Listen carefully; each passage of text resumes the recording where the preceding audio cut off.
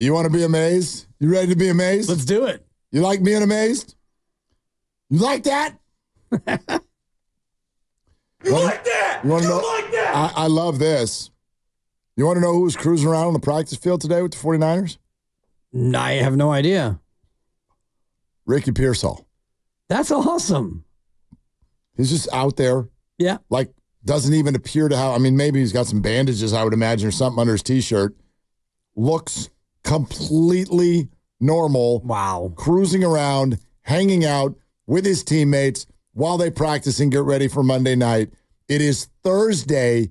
He was shot in the chest on Saturday. Yeah, five days ago. Just remarkable. Wow. I mean, wow. Wow. Power of healing and the luck of the draw in this case that it was an entry wound and an exit wound that apparently didn't cause any internal internal damage other than I don't know being shot. Yeah, like And I would imagine. shot. I, I- don't. I don't want to assume there's no emotional damage because that would Oh, for sure. freak the bleep out. Right. And let alone like, and Doc Pandia did such a good job on Tuesday of describing the internal stress and the energy that's given off when a bullet rips through your body. It's not just an entry wound and an exit wound, but it's the, I would imagine, the heat and the energy of the bullet physically passing Sure. through tissue and vessels. And even if it doesn't hit arteries and organs, you still have tissue and blood and vessels and all the rest of it. And so there will be a significant amount of internal healing. And Doc Pandy also did say that a gunshot wound, you usually don't stitch it up. So I'd imagine he still has, ostensibly, Mark, somewhat of a hole in his body. Yes. If not two. Yeah, no, I don't think that just closes up in five days.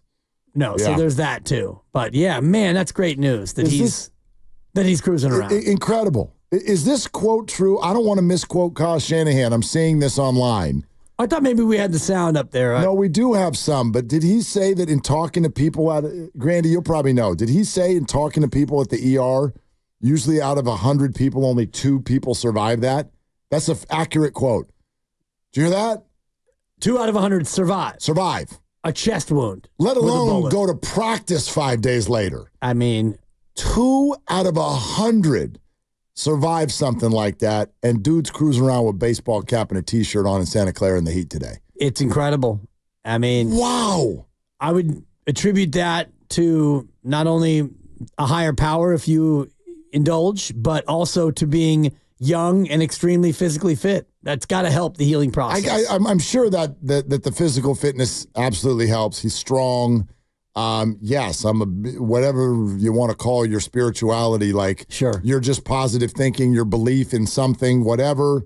But um, yeah, there's a little bit of luck in there too. yeah. There's a lot of luck in there. Good No job, doubt. good job, Randy. Well, it's- yeah. Randy, if For the radio audience, What we emo- have a what- banner that hangs behind what- Mark Willard, what and this banner has fallen. Annoyed. what emotion are you feeling right now as you try to hang that sign, Grandy? I feel like Sisyphus rolling the rock Rolling the rock up the hill. Yes, and it's Can't do it. for the people who can't see it on YouTube. He's trying to hang a banner that hangs behind Mark for the YouTube and the Twitch audience. But what you also probably don't know is that this banner has now fallen 37 times Damn. since its inception. Yet we, as a radio group, have not come up with a different way to affix this in a more permanent fashion. I would like, I really appreciate you bringing this up because the definition of insanity Yes. is what? is to repeat yourself. And Grandy using the Sisyphus example, which is too highbrow for even me, let alone our audience. Yeah, I but don't even know what the hell he It's was a Greek. saying. It's a Greek myth where the dude rolls the rock up the hill and it falls back down and he does it again. Doing the same thing over and over again and expecting a different result. That's the definition of insanity I was Sisyphus. looking for. Yeah, your boy yeah. Sisyphus did that with his damn rock. Okay, so um, I believe we've reached the level because we've been here for what about a year now? That's a solid year, I About a think. year? It feels Okay, about right. Yeah. So I, I I would argue we've reached the point of insanity with the idea that this banner, this banner is going to stay here with two push pins. Correct. Is that a push pin Push on your uniform? Pins. We're talking about thumbtacks, not a thumbtack. Do you know what I mean? It's a push pin. Like it's the most Oakland A's mother bleeping thing I ever seen in my life. That we're running around here in the middle of Market Six, doing big time Warriors, Yeah, home of the time. Warriors, Niners about to start. We're going to be there on Monday night. We're doing the darn thing. And what do we have to keep up the signage behind our heads? Push pins. Like nobody's even tried tape. nobody's, we haven't even gotten to like Velcro or something crazy like that. Velcro. I like that. We got push pins. Yeah, push pins. And every day we're like, I bet this time they'll stay. Now, one side usually droops. There's some droopage, and it's anyway. Probably enough about banners. That's probably enough. We can move on. Um, banners and push pins. Yeah, glad you're with us. 888 957 9570 is the number. I do want to hear more of the Shanahan quotes coming out. I know we Yeah. talked a lot about Ricky Pearsall, and just this is the last Shanahan you're going to get until Monday. And I know there was a little bit of, I wouldn't call it McCaffrey news, but it was an eyebrow raise. I'm not forcing you to play it now because I know we have great callers on the line, but just hearing he was going to speak today, I was a little press conference excited. Yep. Everything right now is getting me excited about football. Well, that's good. Like I the- do even see, the silly stuff. Well, you know? I really hope that in as we sit here and hear people's emotions and we hear things like frustrated and anxiety and whatever, like feeling anxious, as we hear all that, I, I hope it's not ruining your excitement, is it? You're all excited, oh, yeah. right? you have to be excited. Push fans. I'm not coming back in. Yeah, and For you those of you not You on the. YouTube feed, the banner has fallen. The banner has fallen. Tear down that banner. The banner Orby. is on the field. the banner is on the field. I'm trying to hold it together. I just. I'm trying to talk about my NFL excitement, and right behind you, whew, just the saddest little double drop too. Anyway, Don't worry, we still have fat heads of me, Steiny, and Goo behind my head, so you can look at those. And then there's fat heads of you and Bonta and Joe behind your head, and a, a 95.7 the game branding that is not put together by push pins. It's not. It's actually with uh, two-way sticky tape. But you had me thinking, and this is a quick aside, and just give me one minute on this. It might be a fun social media like bit to do. Your team of fatheads versus my team of fatheads. Like, who would you rather tailgate with? Who would you rather go to a Warrior game with? who would you rather eat nachos with? We should have done that Willard, actually. Steiny, and Goo versus me, Bonta, and Joe. We no, we should have done that at the summit yesterday. Have all of us holding our own fat Fat yeah. and like hold it up like who's uh I don't know who's seen the Niners win a Super Bowl before. Ah, Hold up your head like There whatever. Yeah, Okay. everybody's old enough for that. But all right, yeah, let's uh we'll play some Kyle. Uh we're gonna have some fun with all of the primetime NFL games musical interludes coming up here in a little bit less than hou- uh, an hour or so. But let's keep going with you. What emotion are you feeling? 30 years since the Niners have won a Super Bowl. And that has you feeling what as we get this one started? Dollar Bill, San Francisco. What's going on? Thank you for calling.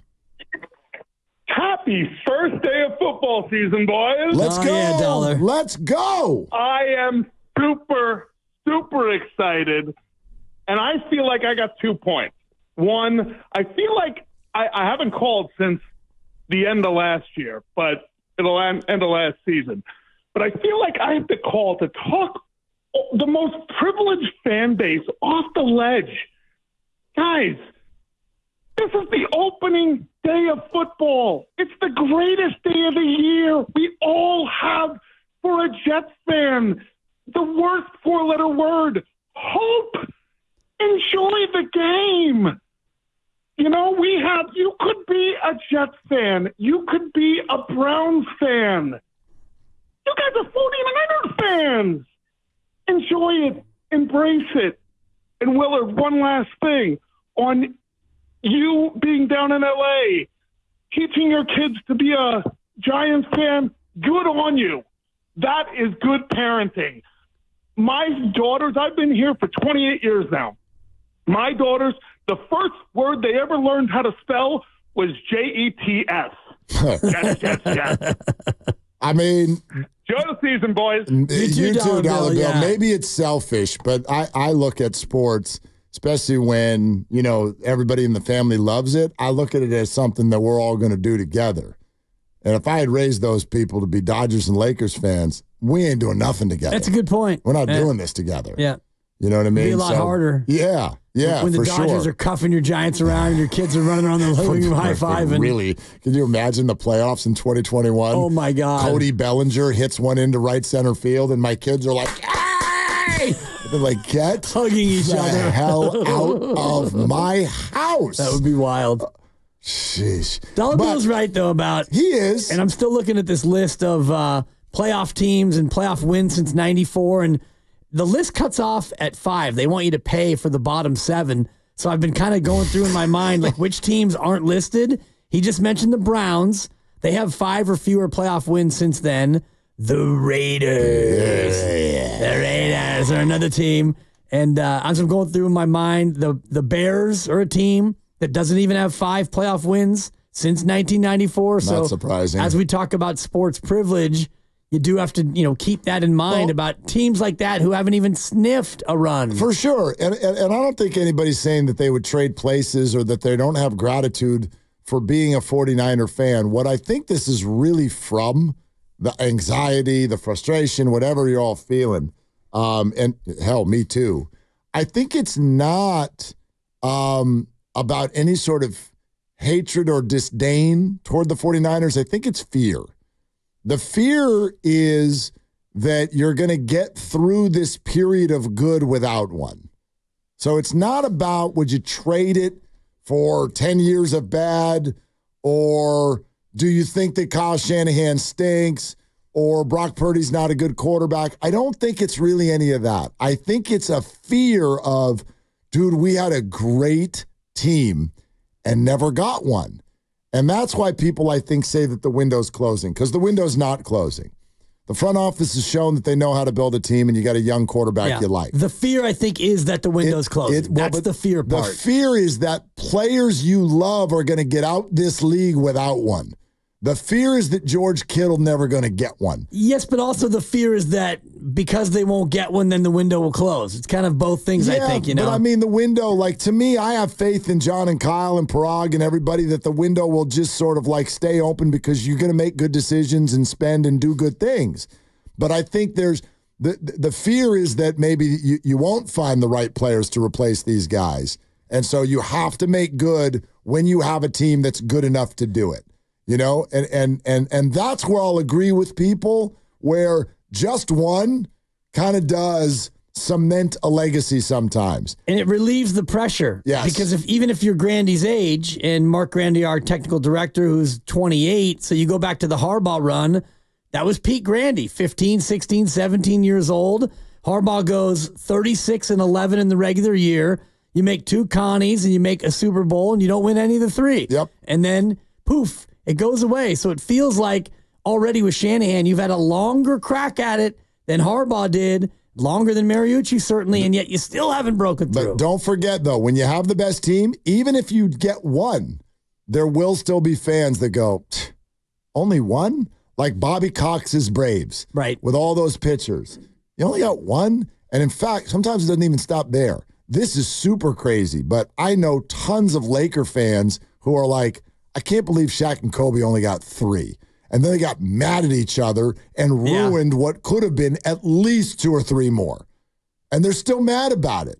So, so some of it's just your perspective. and human nature. And Yeah. also, if you want to talk about the most privileged fan bases in America, the Lakers and Yankees would be one and two. Oh, of course. Absolutely. As far as Absolutely. privilege, the Cowboys have this false sense of privilege. They're when, the most myopic. Exactly. Yes. But even the Patriots, and I wonder, checking in on Patriot Sports Talk this year, now that they've had a season of reality and now another season where it looks like they're probably not going to be great again, fourth in the division seems very likely. I wonder how quickly they start to turn. I don't know. Because I'm looking, Mark, and since 94, they're 33 and 16 in the postseason with six rings in that same 30 years we talked about. Yep. The Niners are 20 and 13 with zero rings. I mean, 13 fewer rings, th- 13 fewer wins, but six fewer rings. Six fewer rings. Yeah. That's the. I mean, that's Well, the part how, that stings. That's how close they've been. And the Yeah, Boston yeah. fan is just sobering up from the Celtics championship anyway. Good call. Just starting to sober up. Um, let's see. Jay in Castro Valley. Hey, Jay, thank you so much for calling. What's up? Hey guys. Um, yeah, I'm I'm an old retired guy, 72 years old. Um, I've had a lot of wonderful sports experiences living here in the Bay Area where I've lived my whole life. Um, I guess I'd say I start out every year hopeful. Um, and I'm starting out hopeful this year because I've, um, you know, I'm a Niner fan. I started off a Raider fan. I got my first job when I was in high school to buy Raider season tickets. And I had Raider season tickets through the whole glory years of the 70s with Kenny Stabler. And then they moved to LA. And um, I had a friend who had a condo up on D Street in Hayward. And his next door neighbor in the condo was Joe Montana Wow. as a rookie. and Montana used to come over to his apartment. My friend had a huge record collection, and we'd be playing records and drinking beer and and um and playing Atari football. And Montana would hang out with us.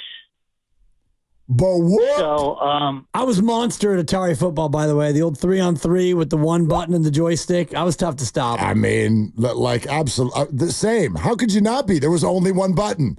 Like that's the whole problem generationally with like the Xbox now. And thank you very much, Jay. Yeah, thanks, That's Jay. the problem with it. You try to go play a teenager now, Dude. There's eight buttons and they can seamlessly control all of them. I, mean, what, what does L1 do again? I don't know. I I I pre stiff arm? I pre-select my throw on every play. I'm like I'm hitting You A. and I need to go That- head to I'm- I, I know where the A button is. I'm, I'm we're, we're, we're doing the go route.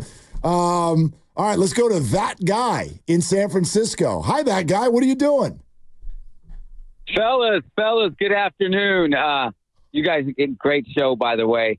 Couple things. I got a, an emotional story, uh, and I'll make it quick on, on the 30 years uh, of the Niners. But just, hey, Willard, I heard you the other day, brother, on that uh, call to the Odd Couple. Absolutely Oh. phenomenal. That was a great call. Oh, thanks, man. And Dibs, you know, I've been rolling Dibs, I've been rolling with you since day one back in the Rise Guys and KCVS. And I just wanted to know, uh, and I'll give you my story here. I just wanted to know, Willard, when you pulled the money out of the, the, the Band-Aid box and called up pizza, Yeah. Did did Dibley deliver it to you? Because if he did, Dibs, you remember, Oh, yeah. you would take a slice and ease it together. yeah. It's called the pick and push, is what it is. I, I was the one who created the pick and push, and thank you for the for the call back. Uh, I actually did the pick and push to David Faustino uh, from Married you with Children. from Married yeah. with Children? He was a victim of the pick and push. How'd that go for you? Did anybody ever chase you down? No chance. I'd have chased you down. You wouldn't have counted the slices. I know exactly. You take an extra how large pie. No and chance. it's sliced into 12. If you remove the smallest of the 12 and you give it a little push around the edges, There's no way. nobody ever counts the slices. You never tried me. I would pick and push you easy. No, first of all, I didn't order extra large. What do you think? I'm crazy? I'm there by well, you myself. can't pick and push on a small because Yeah. it's cut into eight and the wedges are big. Plus, I used to go to a pizza place. that was right there in Foster City, and it was called Go Getter's Pizza, Hmm. and it was thick. It was thick, and and and it would uh, they, they they would cut the slices really really big, so that it would just be a small six slices. Oh, yeah. and they were this kind of a triangle. You had no shot. There's no way if you'd even taken a bite of that thing. Yeah, no chance. I'd have chased you down the And street. And as a veteran pick and pusher, you have to pick your spots like with anything. You don't just go into every pizza you deliver, but you got an XL and you take a look inside the box. What's in the box? Not 12 slices. Might be 11. Might be 10 if your boy's hungry. what kind of tipper was David Faustino? That's pretty good. Okay. That was when I was delivering in the valley. I was gonna say, where do you where do you live? Northridge. Yeah, I was in Northridge. God, That's all when I was working for uh, Pizzasaurus Rex. It's all, that was what it was called. Pizzasaurus Rex. You Rex. gotta be kidding me. No, two mediums for 12 bucks on a Wednesday. we were busy on Wednesday. still open? I wonder. Come on. Just outside of Northridge. Hang on, I'm gonna. Uh, I'll Google it. Oh, by the way, under different ownership for sure. probably. Um, you know what's on my Googler right now? I should answer this question because Okay. people on the text line asked it like an hour ago. And we Oh, never. geez. Well, no, but they were asking. Remember, we were talking about the new kickoff rule, Right. And people were like, "Hey, uh, it doesn't sound like you could do an onside kick anymore." You can't. Do you know the new rule? Yes, you have to uh, send a formal request to Roger Goodell Hmm. to execute an onside kick. It goes before a board of governors, and then they. I'm being a little sarcastic. I was going to say this is an exaggeration you have sensation. to declare, You have to hey, declare. we're going to onside kick. Can you guys make sure you're ready for it? Hold on. So hold, stupid. Hold on. There's a second very important piece of the rule. You are right. You have You to have declare. to be trailing, and it has to be the fourth quarter. um, you have to be trailing. You have to be, yep, losing in the fourth quarter, and you have to I- declare that it's going to happen. Fourth quarter was. I knew it needed to be the fourth quarter. I didn't know you had to be trailing. You do? Yep. Wow. Hey, uh, dear Nice job. Canada, this is the U.S. We're going to invade in about three weeks. Uh, we just wanted to give you proper notice. Uh, we're going to be lining up at the border here. We're coming to take your country. Yeah. Well. so uh, that part really rankles me yeah. The no surprise zone because that was great. What was it? Uh, Sean Payton in the Super Bowl in the Super Bowl. came straight out of the locker room. Yep. Yep. Have I got a plan for you? And he won that thing too. He won a ring. Yeah. He won a ring. Yeah. I don't know. It's just the robotic nature of our sport now. Everything's becoming so Well, so robotic. I think that, that we w- what we have to remember about this, whether you like it or not, is this is a television show, and onside kicks are boring as all hell. They don't work. Now I don't know. if Surprise onside kicks work more than just the, your garden variety. I think that they kind of actually got ready for those too. If you think about it, when was the last time we got a surprise onside kick that worked? I'd have to go back into the archives, Exactly. but we're not going to ever see that again. Yeah, because it wasn't working either. Because people were ready for it once it happened on the biggest stage, and then the ones that you are ready for, you know, yeah, you can still try it. I actually like the idea that I think they're moving toward, which is completely doing away with the onside kick. And I think the idea that got thrown out is like you go to your own twenty, and and it, it's fourth and fifteen. Oh, that's your version of you- the onside kick. And you get one play. You get one play. And the penalty is is if you don't get it, the other team's already got the ball in the red zone. yeah. And but if you're trailing, if you're trailing with three minutes to go, why the hell not? That feels to me like the automatic runner at second in the 10th inning. It's just too contrived and too cockamamie for me. Well, it's not real football. Yeah, but contrived and cockamamie becomes like reality real quick. At times. You got an extra inning baseball game, and you're like, there goes Bob to second base. Contrived and cockamamie, but And we're doing it. It's but it's stupid. but we're doing it. we're doing it because what we thought and I, I wonder if they eventually go back because you know they did that for time of game in many ways and also to not tax a poor Yeah, but pitching the, the- staff the, and players union loves it because they don't Yeah. want to play 18 innings. You guys, Right, was it you? paid the same. Was it you or FP? Someone had, I think, what is the absolute best solution here.